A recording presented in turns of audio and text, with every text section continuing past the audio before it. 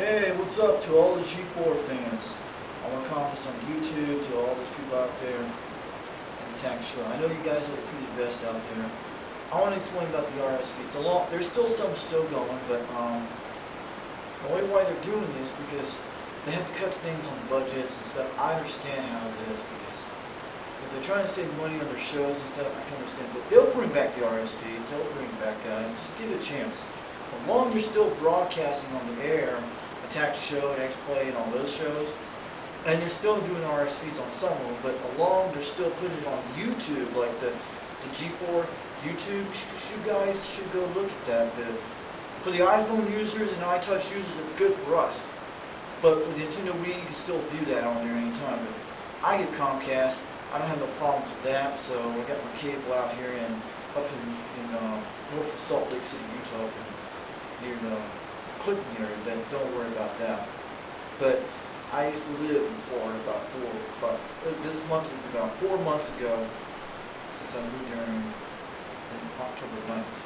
But 2009. This is 2010, yes, but I'm saying I'm, I'm trying. I want to comment to all the people out there. But you gotta chill out, dogs. But they're trying to save on the budget. We gotta give it a chance because they'll bring something out better. But who knows? As long as you're still putting videos out there on the web, on YouTube, and they're still pretty good. But I like to see some stuff for the Nintendo Wii fans to put more videos and stuff out there on G4. But I know they still got a video site out there. But I like to see some videos but they put the Attack of the Show website but on uh, G4TV.com, but they should put some videos out there for the Gadget Gadgetron freaks. But I'm saying, man, I played my Xbox Live on Call of Duty Modern Warfare 2, plus I do the Nintendo Wii most of the time. I just won a Wii, just not about last week ago I did at this time, with a Wii Fit included and stuff. My parents won, but been having fun with it, man. The Wii's pretty cool, but I'm a man for all consoles there's nothing wrong with the Wii, but the is pretty cool, but it's not that bad. But I know a lot of people hate it because they don't understand that the last time I played a Nintendo system was the Nintendo 64 when GoldenEye came out. For me, I like the Xbox better, but I love to get a PS3. I know those are pretty sweet. But the cool thing about the Wii, I love using the internet browser, browsing stuff on the web.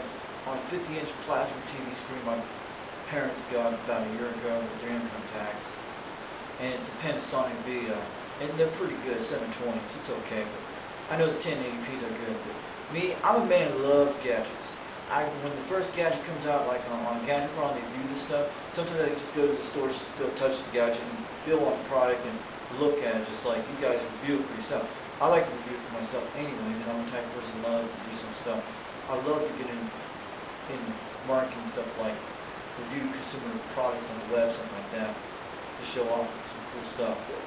Like you guys do on G4, but that's what I learned from you guys, but it's pretty cool. But man, I heard about the iPad. It's going to be good, but I'm probably want to wait for when it comes out with the second generation, when it will come out.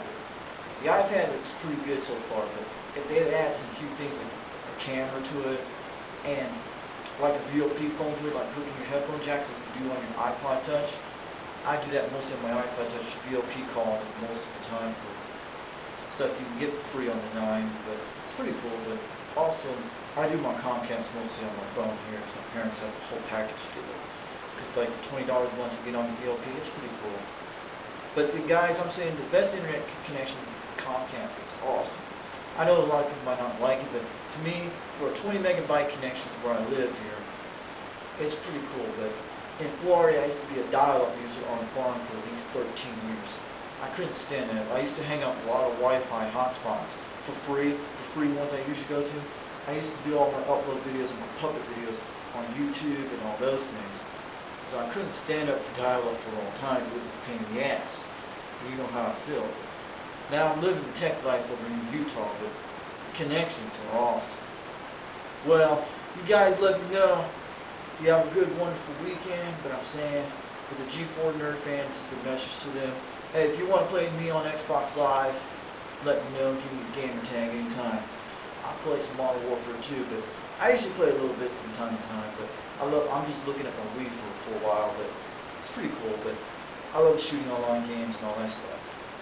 Well, have a good one. This is Richard.